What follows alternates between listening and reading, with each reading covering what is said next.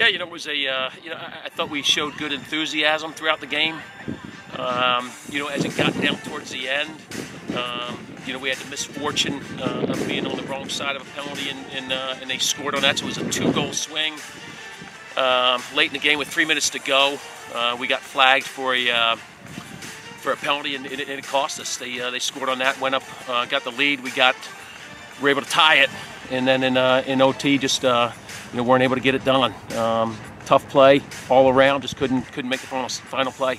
Well, I mean, you know, it, it, it's it's frustrating. I, I got to tell you, it's frustrating because we had opportunities to really secure a lead and, and, and go ahead and, and, uh, and, and, be in a position to win the game and, and uh, give them credit. Uh, they did what they needed to do, but uh, but on our end, we just didn't finish plays. Um, and, at this period of the season, we need to finish plays.